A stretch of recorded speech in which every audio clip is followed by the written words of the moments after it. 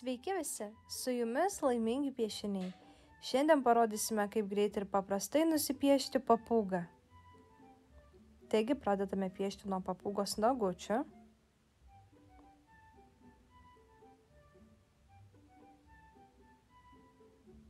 Piešiame po du nagučius esančius vieną šalia kito. Taigi jau nupiešėme du.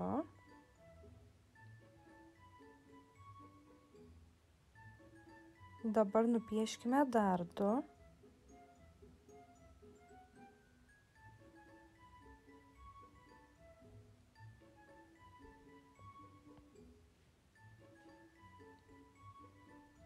Paliekame šiokį tokį tarpą.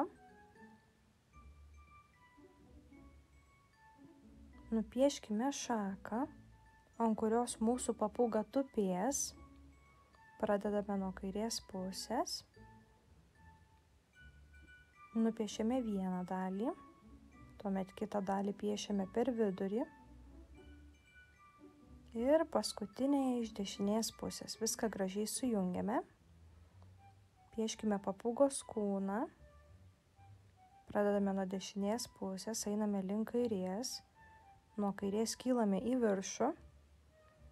Paliekame šiek tiek tiesią liniją. Tuomet padarome tokį kaip užsukimą. Paliekame vietos snapeliui. Tuomet piešiame snapelį. Uodegą uodegą piešiame šakos apačioje.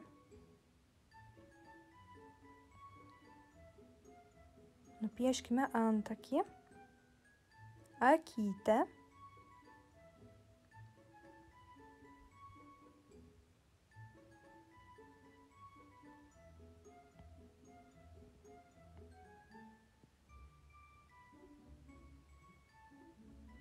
Nupieškime sparnelį darome tokius kaip pabangavimus. Čia bus kaip plunksnų imitacija. Piešime plunksnas ir ant uodegos.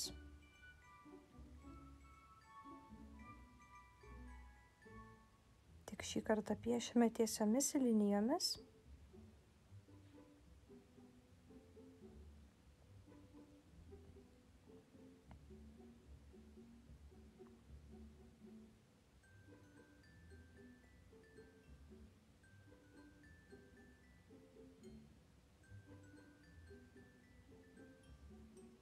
Sujungiame kontūrus, pabanguojame ties kaklu ir krūtinę ir šį piešinį nuspalviname savo pasirinktomis spalvomis.